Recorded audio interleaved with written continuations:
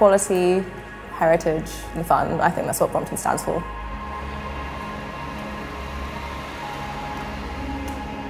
Brompton started um, when Andrew Ritchie, who's the designer of the bike, basically designed the bike in his flat overlooking the Brompton Oratory.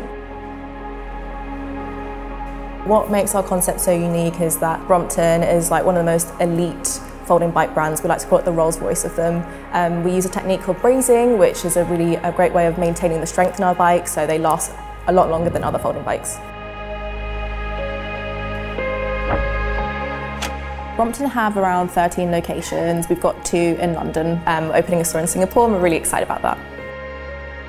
We communicate with our customers um, through our social media platforms. So Instagram is like a really, really popular one.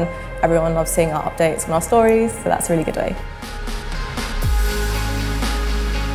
The way that we prepare for um, our peak season is that um, we make sure that we're on top of our stock levels. Um, we look at data last year, looking at our um, sales figures and try to identify any bestsellers that might be coming up.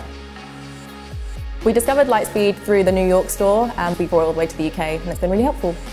We decided to go with Lightspeed because it's more streamlined than any other POS system that we've used before. Um, the staff really love it because it's like really easy. Um, us management love it because it's super easy for the reporting. The feature that's been the most positive for the business is the work orders feature. It helps us manage our workshop behind us here.